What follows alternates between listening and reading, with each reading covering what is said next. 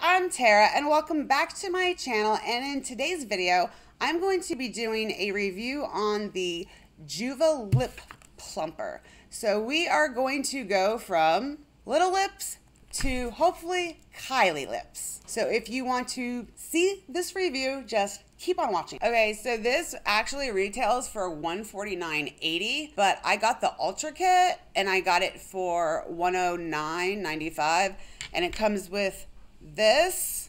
You also get the bag. You get an extra mouthpiece and you get two bags of replacement pads.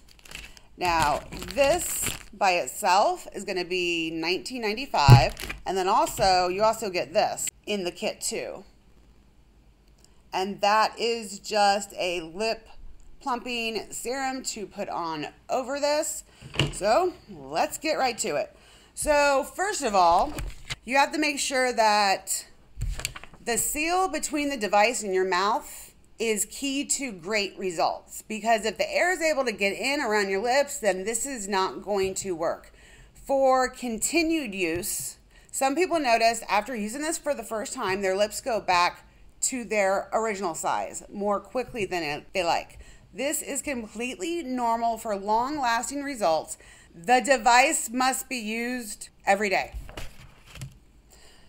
So you're supposed to start off with one to two sessions, which is 60 seconds, but we're going to go for more than that.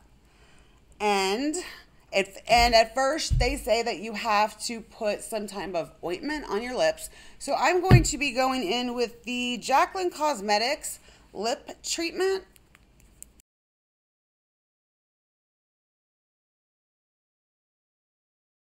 Okay, that's after one session.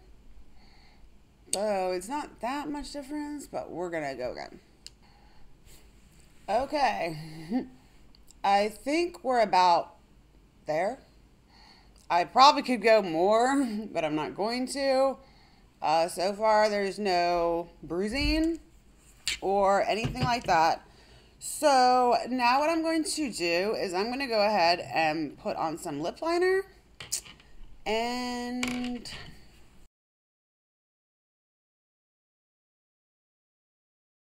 Okay, and that lip liner was in the shade Macaroon by Jaclyn Cosmetics. Now I'm going to go in with Promised by Jaclyn Cosmetics, and this is a lip cushion. And I really like this one because it's not matte. Like, you can't even tell that you have it on.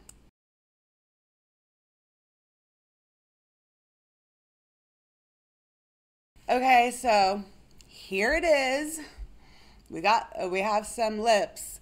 So, do I think it's worth the 109.85, 95?